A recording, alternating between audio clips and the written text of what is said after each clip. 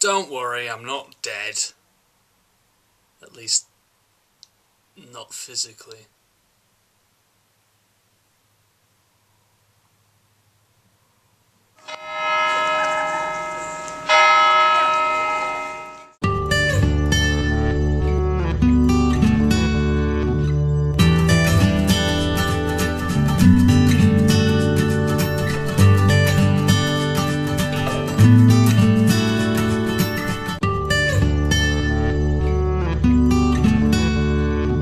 Yes, I hope you enjoyed yesterday's video. It was planned by me and Dan quite some time ago, and we filmed that whole thing at the beginning. It was fun, and I think he now appreciates how hard it is to do this kind of crap every sodding day. Because, yeah, there's not a lot you can do really when days are just kind of you doing your general stuff. And you have to sit here and try and be mildly entertaining. Speaking of days where you don't do much stuff, today has been also one of those days. Um, I haven't actually, you know, because I said I wanted to get this feature film plan done.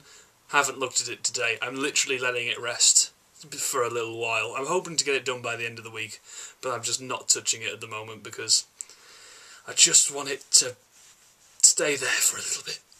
But instead, I've been thinking I had an idea for a short film, one that is very feasibly possible to do very, very soon and I was sat here today and I had, you know, the, the, little sprinklings of what it could possibly become in my head, and I was going to sit down and start writing it, and I thought, no, not today. I've decided not to write this film. I'm not going to give it to anybody else to write. I'm going to do something that's incredibly stupid, which is try and improvise it.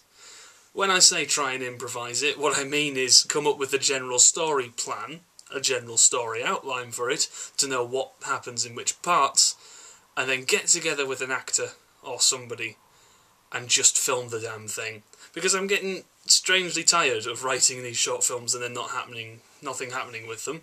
Because it's, you know, whilst that's very good, I just want to have something that reminds me why I'm doing that process so that I can sit down and possibly tear my hair out trying to make a short film without having too much preparation just to see, well, just to remind myself why that is such a good thing to do, I guess. And also to get something made, because I'm tired of not making things at the moment. So I'm going to be sat thinking about that for some more time, maybe even put up a little, very brief outline with a sentence for each thing saying this happens, this happens, this happens, which will end up being this.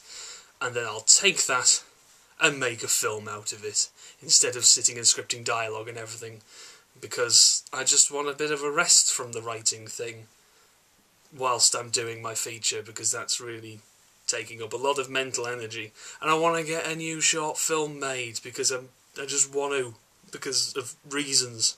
In terms of the general idea of it, it's kind of a bit like Paperman, I realised when I was sat watching it. You know, the Disney short where it's kind of a guy runs after the love of his life. But mine's not going to have as many supernatural things in it, so we're not going to have paper aeroplanes pushing people into each other. I just want to make something organic, hence why I'm thinking maybe do it a bit, a little bit improvised. But yeah, it's kind of it's terrifying and exciting in equal measure. Um, so that's all I'm going to do now is sit, plan, think who I want to get on board, how we're going to do it, where we're going to do it, and who's going to be involved. So that's all from me today.